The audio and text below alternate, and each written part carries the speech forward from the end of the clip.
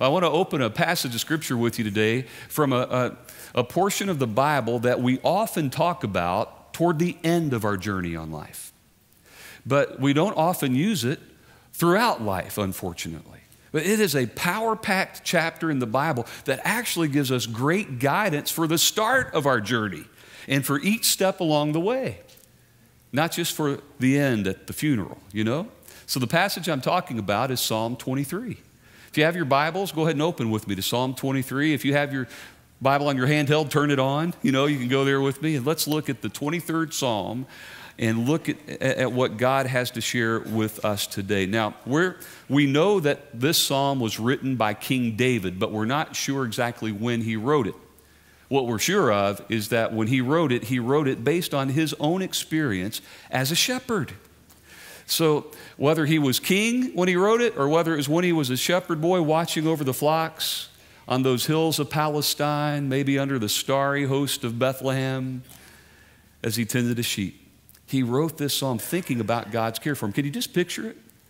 I mean, here's a young boy, he's watching over his sheep, responsible for each one of them, and he's connecting how God cares for him and how he cares for us, just like he cares for sheep.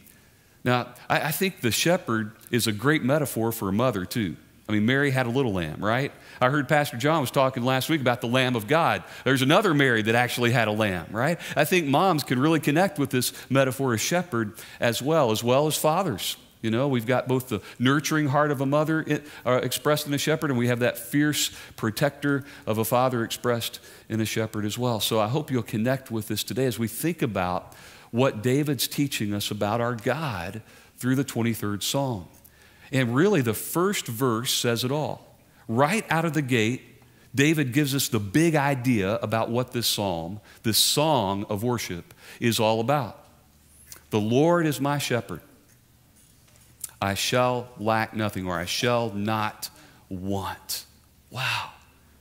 Now, you know, the, the, a lot of the newer versions today talk about I lack nothing in that last portion, but a lot of us memorized this growing up, if you grew up in the church, in the old King James Version, which is, I shall not want, right? Reminds me of the little girl who was in Sunday school and she had just memorized the 23rd Psalm, and her, her Sunday school teacher's really proud of her. So she had her stand up in class and she said, Honey, well, why don't you just repeat the 23rd Psalm for all of us? The little girl stood up proudly and she began, The Lord is my shepherd, He's all I want. And that's really a lot of what David's talking about here. When we understand, friend, when we get what David is talking about for God to be the shepherd of our souls and our lives, then He truly becomes our sole desire. He becomes all we want in this life. So let's unpack this together.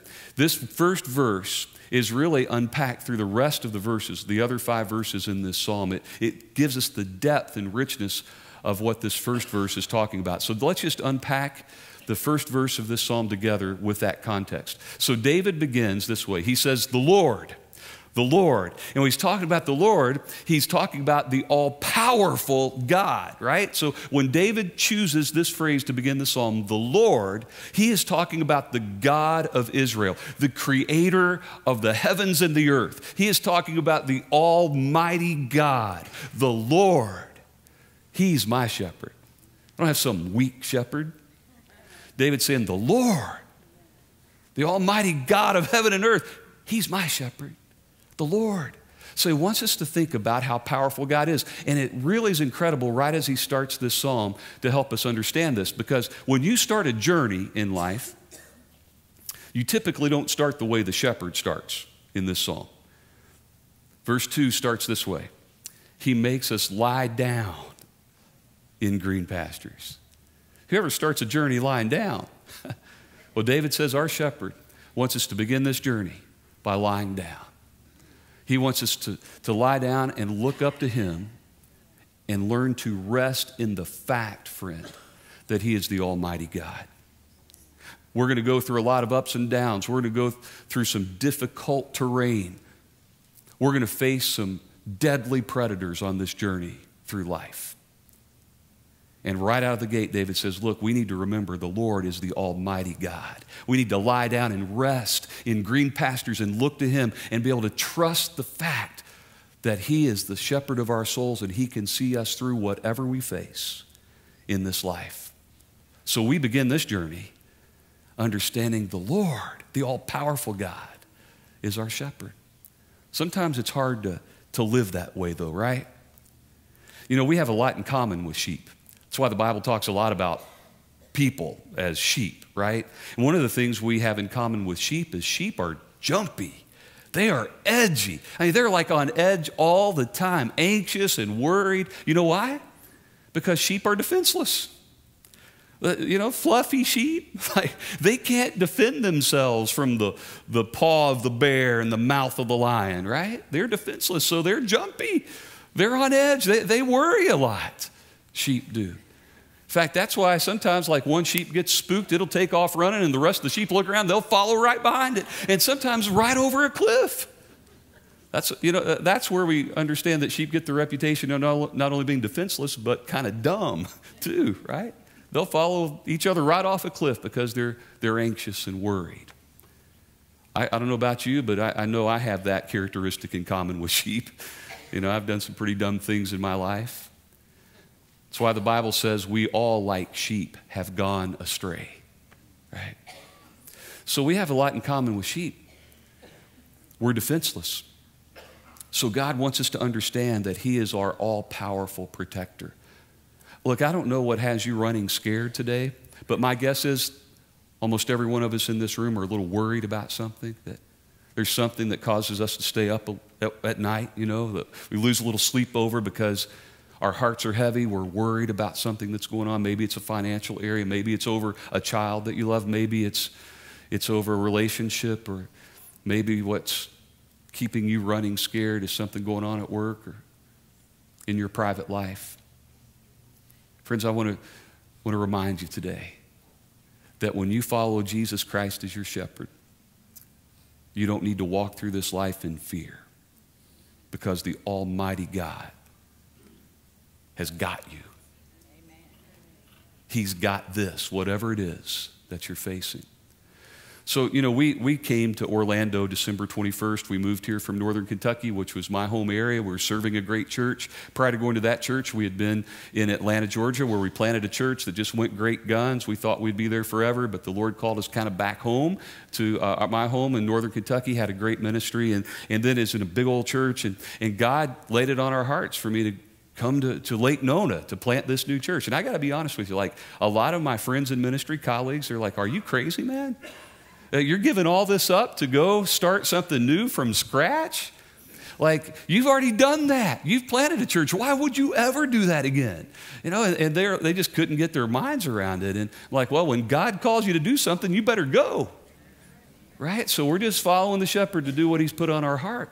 And I'll be honest with you, there's some mornings, my wife Ellie is over here with my daughter Lael, and I'm glad they could join us today. And, and there's sometimes some mornings Ellie and I get up early, we have our coffee, and, and we get a little anxious, right? And we're thinking, okay, maybe our friends were right, man. Like, what are we doing? you know, it can be a little daunting, this task at times. We don't know anybody, we're just getting immersed in this community. God, are you in this? Are you there? And it helps to remember how God has been faithful all through our lives. You know, it helps to look back and say, He's been there if we want to draw strength to go forward at times, right? To remember He's the all powerful God. He showed Himself strong. And so, one of the great things about how God's showing Himself all powerful in our context is just about every week. In fact, I've started to journal these things because every week since we've been there, God has revealed to us in one way or another that this is His thing, not our thing that he's in this, that he's, it's him that's birthing this new church, and he's just invited us into it, you know? And, and one of the most powerful ways he's done that already for us was right out of the gate in January. We went to the YMCA in Lake Nona, which is sort of the hub of the community there. And Ellie and I said, We want to sign up. And the lady at the front desk signed us up. And I said, Look, I've got a nine year old daughter. She'd love to play basketball. We're from Kentucky. That's what we do, right? We play basketball. And I would love to coach. You know, I'd love to coach a basketball team, her team, if that's possible. And, and the lady looked at me. She was already, man, her face was downcast. She's like, I'm sorry. Uh, you know, they start this week. I don't think there's any more spots for basketball. And I'm like, man, this was a big part of my plan to get engaged in the community. I'm like, oh, really? Can you call the sports director? And she said, sure, I'll try. And she called him, and he's like, well, everything's filled up. We don't have any more spots. We start this week. And she's like, yeah, that's what I told him. And um, then, then he goes, well, wait a minute. We have one opening for second and third grade boys and girls. We need a coach. She goes, I think this guy's ready to coach. Is your daughter in second or third grade? I'm like, yep, she's a third grader. I said, can she play? He's like, yeah, no problem. If you coach, she can play. And boom, that was Tuesday. On Friday, we had our first practice. I'm like, man, God was opening a miraculous door. He was saying, this is my thing. I've got this. Trust me. Rest. I'm the all powerful God and I can take care of everything you need. And so he opened that door. In the first practice, a little boy named Trevor got out on that floor with seven other kids, and I could tell immediately that something was wrong. Trevor was running pretty slowly, couldn't keep up with the other kids. The next practice, his mom, wonderful lady from South Africa, said to me, Hey, will you keep an eye on Trevor? He's, um, his chemo's taking a real toll on his body right now. Seven years old. And uh, and I said, Of course. Of course. We later found out that Trevor contracted this rare form of cancer when he was just four years old and had been fighting this battle for three years.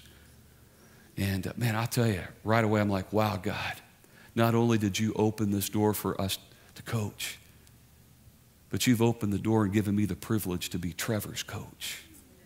Wow, only God can do that when we trust Him, friends. He wants us to know we can rest in Him. Whatever you're facing, He's got this.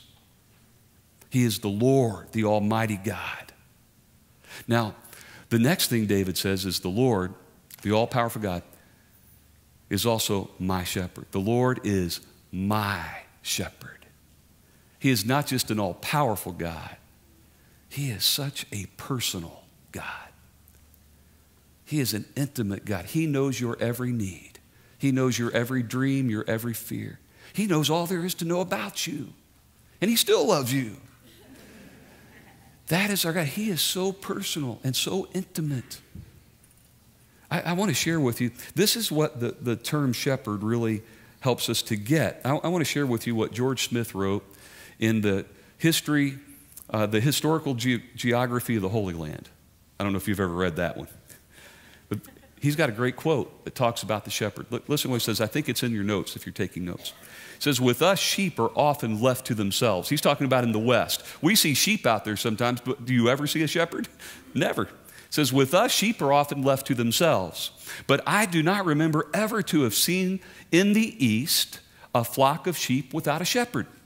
In, in such a landscape as Judea, where a day's pasture is thinly scattered over an unfenced tract of country covered with delusive paths, still frequented by wild beasts, and rolling off into the desert, the man and his character are indispensable. On some high moor, across which at night the hyenas howl, when you meet him, the shepherd, sleepless, far sighted, weather beaten, armed, leaning on his staff, and looking out over his scattered sheep, each one of them on his heart. You understand why the shepherd of Judea sprang to the forefront of his people's history, why they gave his name to their king, made him the symbol of providence, why Christ took him, the shepherd, as an example of self sacrifice. God uses this beautiful picture of a shepherd to teach us his love for us, how much he cares for us. Man, I got this in such a powerful way in February had the chance to travel to Pakistan to be with a missionary friend of mine who is building a hospital to serve uh, people in poverty just outside of the city of Lahore, mostly Muslims, but also Christians. And uh, it's incredible. We dedicated the piece of ground that hospital is being built upon, and there were, there were government figures and the news media all covering this. It's a big deal because it's going to help people in a land where there's a lot of need for good medical care. In fact, Pakistan's like the only country left on earth that still has polio. And so we're excited about partnering with uh, the, the work in Pakistan in this new hospital because in Lake Nona, where we're planting our church, it has this place called Medical City. And it's emerging as this great conglomerate of uh, education institutions and research institutions and hospitals that are working to maybe, it, with that synergy, find new breakthroughs in, in the field of medicine. And so I'm excited about maybe taking medical students and medical professionals over to Pakistan where they understand the need for medical care there and doing mission trips and, and medical camps in this hospital, et cetera. So this is the connection, right, with Pakistan and, and our new church in Lake Nona. And so I was thrilled to get to go and be part of that. But then what Salim did, what just really blew me away, he said, We're going to call our new church the Good Shepherd Hospital. I want you to check this out. Like, here's a picture of, uh, of a lot of us on the stage that day at the dedication. If you'll notice, though, in the back, you see that picture of Jesus with the lamb in his arms holding the staff? See that picture on the right side? That's the logo for the Good Shepherd Christian Hospital.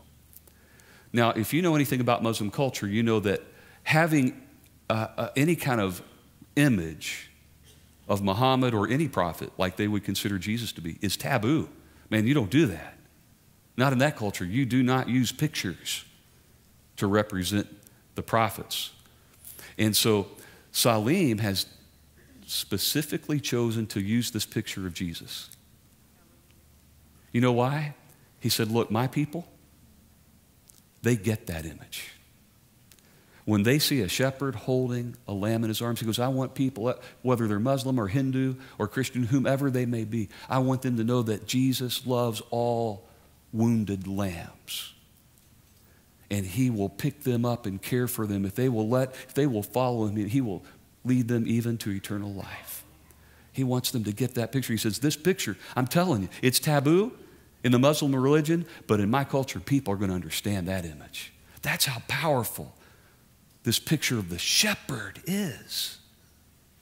That he loves us, that he cares for every sheep every wounded lamb. I think um, the fourth verse of the psalm really brings this out. It, it says, Even though I walk through the valley of the shadow of death, I will fear no evil. Why? For you are with me. Your rod and your staff, they comfort me. See, He's with us. He is a personal God. He knows everything on your heart, every need that you have. He's there, even in the valleys of the shadow of death. Maybe you're walking through a valley today. I don't know how deep or dark it may be, but maybe you find yourself today in the middle of a valley. And you're wondering, God, are you still there? Do you know where I am? Do you know what's going on? Maybe it's the valley of depression. Maybe it's the valley of debt. Maybe it's the valley of addiction. Maybe it's the valley of loneliness. I don't know what valley you may be walking through today, friend. I don't know what it might be that's causing you to wonder, God, are you still there? But David writes this psalm to remind us your God is your shepherd. He is a personal God. And He's still there, even in the deepest, darkest valley. You know, there, I, I, there's a time just a few years ago that I walked through one of those valleys. We, we moved from Atlanta in the church we planted back home to my home, Northern Kentucky. And my oldest daughter, Lydia, was, was a junior in high school when we moved. She did not want to leave the place she grew up and all the friends she had hoped to graduate with. As a junior in high school, it's pretty tough to make new friends in a new place, and it was a tough transition on her. She had a good attitude about it, but man, it was tough. And then just a few months into our move, the doctor said, You need to see an oncologist. He said, um, There's a problem. Wouldn't tell us what. We went to see the oncologist. The oncologist did the test and said, There is a growth in Lydia's abdomen about the size of a Nerf football squashed down. We believe it's cancerous. We're going to have to do surgery. Well, as a dad, you can imagine how crushed we were with that news. The last appointment for the surgery, I had to meet them at the cancer center. My wife, Ellie, and daughter, they, they drove there. I drove separately because I had this meeting afterwards. And we went there. We went through the, the appointment. The doctor told us what was going to happen and how important it was they get this out intact. And in the surgery and all. And um, I left there, and I got to tell you, friend, man, I, I was broken. I drove away from that cancer center on my way to the appointment on the interstate, driving 60 miles an hour and just weeping like a baby, just crying out to God. And I'm a preacher, but man, I was like, God, are you there? See, the valley can get us all, doesn't matter who we are. When you walk through a valley, it can make any of us wonder God, do you still know me? Do you still care, God? Are you still there? I'm like, why Lydia? We've put her through so much, Lord. We, you called us here, and she's been through so much in this transition. Why her? Why does she have to go through this? And, I, and I'm like, God, are you still with us? And I'm not kidding you, right as I said those words, a big black bird fell out of the sky right in front of my car. Dead as a doornail, like a big, huge black bird just drops out of the sky. I thought I was in a Monty Python movie or something. I'm just driving and this happened. And then immediately the Holy Spirit pressed into my heart the words of Jesus. Your Father knows every time a bird falls to the ground. And how much more valuable are you than birds of the air?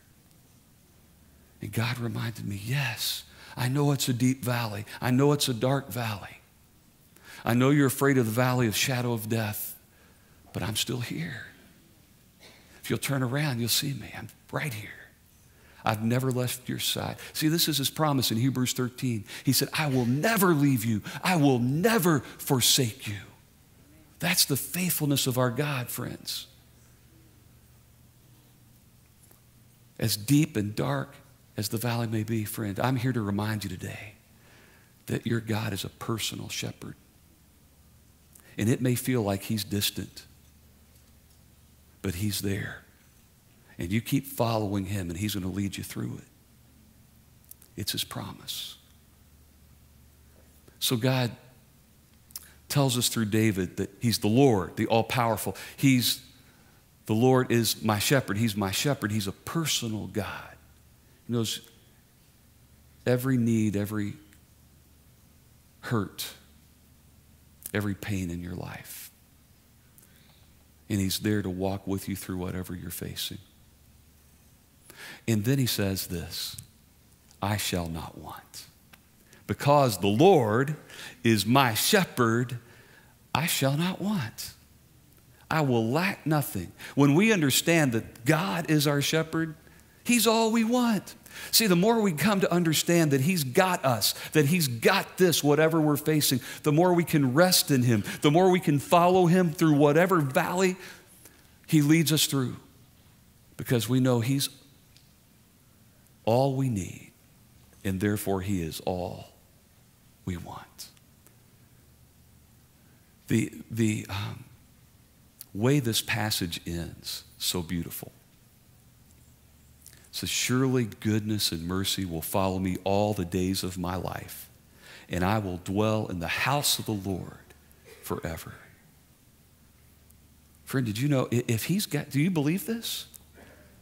Do you believe that he's leading you through your journey to life eternal in the house of God forever?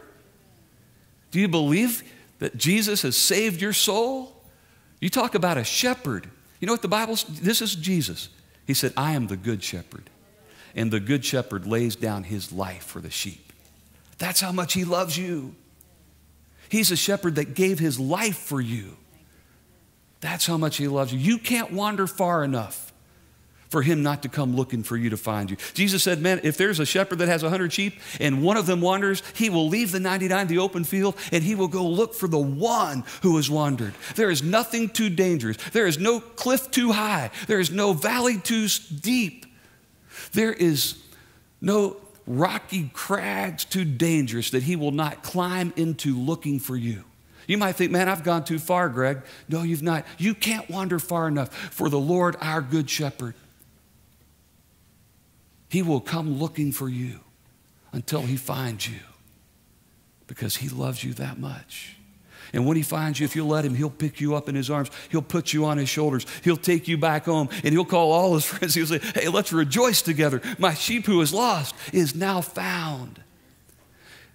He'll walk into any danger. He faced down the danger of death and died for you. He faced down the danger of your sin. He took every one of them, every one of your sins on his back. He paid the price. That's how much he loves you. He is the good shepherd who lays down his life for the sheep. Why? So he could lead you through this life to be with him forever. And if you believe that, folks, look, if he can take care of your eternity, what in the world is there here that he can't take care of? If he's got you for eternity, what is there today that he can't handle in your life? He has promised eternity so we can follow him with joy confidence and courage. I learned so much of that from Trevor. Courage. So Trevor began to get very ill toward the end of the season, so sick, in fact, he couldn't make our last game. Went back into the hospital shortly thereafter. The doctor said, There's no more we can do. This third time the cancer came back was too much, and they sent him home for hospice care. It was devastating, as you can imagine. I saw such courage in that kid. He never wanted to come out of a game, even when he was so tired. He had the heart of a lion, and he fought so hard through this. In fact, I went to the hospital since he couldn't make the game. This is a picture of me giving Trevor his trophy. He just loves basketball, and so I gave him the trophy in, in the hospital. He, he loved getting it there. And what, what's so meaningful to me about this picture is just, just before this, his mom was talking to my wife Ellie, and she said, what are you guys here for? Like, why'd you come here? So we've been flying pretty low. Don't want to scare too many people away. Like, yeah, I'm a preacher, a church planter, you know. And, and uh, Ellie said, well, we're here to plant a church. She goes, really? She goes, well, we've lost our way with religion a bit. But when you start a Bible study, would you invite us to come? She goes, not for me. I'm really angry at God. I can understand. I mean, she said, I'm angry at God. For the last three years, I've seen so many children die of cancer.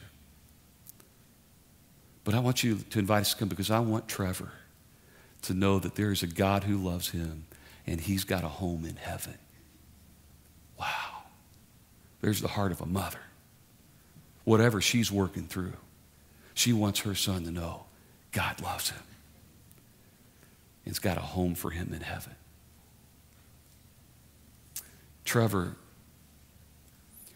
went to be with the Lord last Saturday. His funeral was yesterday. And uh, I've got to tell you, man, it's, it's a hole. I can't imagine for his family. But even for this coach, it's a hole. That picture hangs in my office. And it will, as long as God gives me time and energy on this earth, because that picture reminds me that's what I'm here for. That's what I'm there for to help Trevor and thousands more kids and people like Trevor know that there is a home for them in heaven. That there is a shepherd who's a good shepherd who laid down his life for the sheep. And he is willing to carry us through whatever we face all the way into eternity because of his love for us. Church, that's why we're here. There are Trevors all over. Wherever you're planted, there are Trevors. There are people that need the hope of Jesus, that need to know He loves them enough to give them a home in glory. Surely goodness and mercy will follow me all the days of my life, and I will dwell in the house of the Lord forever. That's a fact if Jesus is your shepherd. So walk with courage, faith, hope, love, and carry that hope to everyone around you. Would you bow with me? Let's pray together. God, I just want to ask you for every person in this room right now, Lord. There are some people here that today need to remember. There are moms here that need to remember that you are the Lord. You are all powerful. You've got this because you've got them. Whatever they're facing, God, remind us today that you are the Almighty God. We can rest in you. Some of us today need to remember that you're a personal God, that you are my shepherd. You're a personal God. You are with us, whatever we're facing. You're still there. Would you press into every heart today, Lord, reminding us right now, you are there. You will never leave us, never forsake us, however deep the valley may be. You are there. And Father, today maybe there are others that just know, need to know that, that because you're there, because you're almighty, you've got all we need. You're our provider. You've provided eternity and forgiveness. We don't need to worry about anything today because you're all we need. Will you help us put you in the place in our hearts today that you are all we want? That we pursue after you with all of our hearts. Our shepherd, the good shepherd, the great shepherd who gave his life for us.